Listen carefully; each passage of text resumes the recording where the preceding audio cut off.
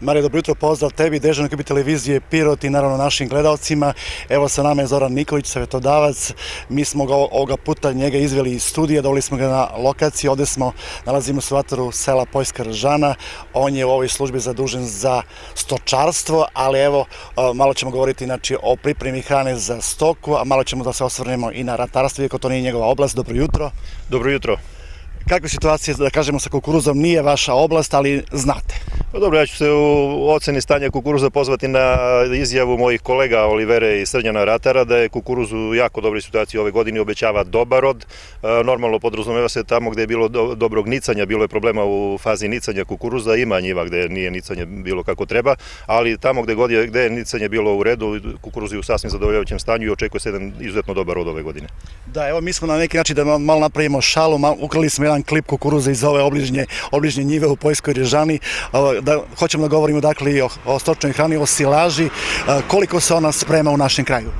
Pa mi smo kao služba imali problema, da kažem, i zajedno sa kolegom iz ratarske službe, sa kolegom Srđanom, imali smo problema dok smo ubedili na neki način proizvođače da krenu u postupak pripreme silaže, trajalo je to nekoliko godina, da kažem, ubeđivanje. Projekat Reka mleka nam je dosta pomogao zato što oni finansijski malo pomogli proizvođače da malo i mašinama i tako dalje, pa su ih nekako uvukli u tu priču. I sada je silaža nešto što je uobičajeno na svim gazdinstvima koje se ozbiljno bave stočarskom proizvodnjom, mislim pre svega na proizvodnju mleka. Normalno prave i oni koji čuvaju ovce. Znači, po nekoj slobodnoj proceni mislim da preko 90% gazdinstava koja imaju uslovi i koja treba da rade silažu, prave silažu i koriste u ishrani svojih životinja. Od čega je se sve ona, da kažemo, sprema? Silaža pre svega kod nas dominira silaža kukuruza, silaža cele biljke kukuruza, mada može da se spreme i od lucerke, može i od mešavina, trava, ali kažem da dominira, uglavnom je zastupljena silaža cele biljke kukuruza. I koliko, da kažemo, stočari poštuju vaše savete?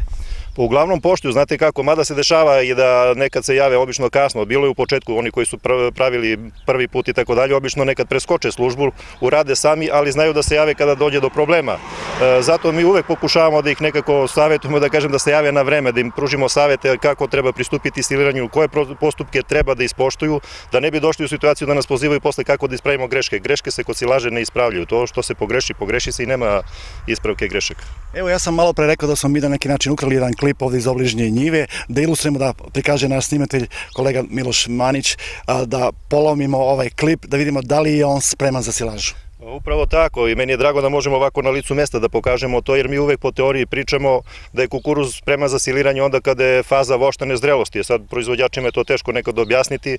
Kažemo opet po teoriji to treba da bude negde 35% suve materije u klipu, 65% vlage, ali to je priča sa papira, je li tako? U praksi je najbolje da provere da li da je, baš tako, mi ćemo sad pokušati da to demonstriramo, da, e, da li je faza voštane zrelosti ili ne. Na, e, kada je faza voštane zrelosti, na dodir noktom treba da ostaje trag u zrnu kukuruza. Ovde očigledno to nije slučaj. Znači ovde na pritisak još izlazi mleko iz. Mleko, da. Znači ovaj, ovaj klip je u fazi mlečne zrelosti, u fazi nalivanja još zrna, tako da znači ovo još uvek nije spremno za silažu. Još jedna mera. praktično mera, da, ba, baš tako ja ću pokušati da polomim ovaj klip ovako, jeste takozvana bela linija.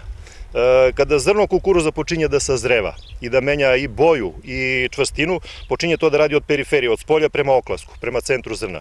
E, žuta boja otprilike se pomera znači od spolja prema unutra, de, a, linija koja razdvaja ovaj beli deo zrna i žuti je takozvana bela linija koju mi pominjemo ovako u teoriji.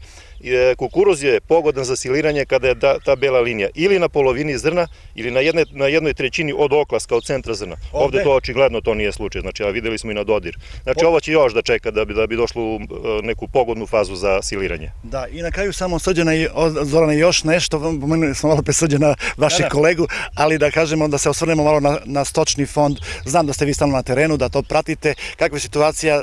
Bilo je nekih, da kažemo, blagog povećanja stočnog fonda. Mi imamo ovde i mlekarsku školu koja kupljuje mleko, imamo i ostale proizvođače. Kakve je stanje na terenu? Pa ako bi govorili o odbrojnom stanju, mi bi morali onda da se pozovemo na izvore iz veterinarske službe zato što su oni u obavezi da rade neke mere koje su zakonom predviđene i preko kojih moraju da obuhvate sva grla na terenu i o nekoj tačnoj situaciji što se tiče brojnog stanja morali bi od njih da tražimo podatke. Generalno mislim da jedna stagnacija, mada ima, ima i blagi pad, ne, ne bi rekao da ima povećanja, ali ono što raduje, ono što je na kraju krajeva i neki normalan e, sled događaja u stočarstvu, jeste da se izdvajaju gazdinstva sa većim brojem grla po gazdinstvu i to je nešto što je za očekivati, znači da se ide na 10, 15 pa 20, imamo i gazdinstva sa više, većim brojem, sa 30-40 grla i to je nešto što treba očekivati u budućnosti. Svi oni koji su spremni da prihvate to, da prihvate povećanje broja grla na gazdinstvu, ostaće u toj priči proizvodnja mleka ili u toj stočarskoj priči. Eto toliko ovoga jutra, hvala što ste bili gost našeg programa. Marija, eto čuli smo korisne savete od našeg sagovornika Zorana Nikolića. A, naglašavam, mi ćemo se potruditi da i u narednim emisijama uvek savjetodavce dovedemo na lice mesta i da govorimo konkretno sa lokacija u našem gradu.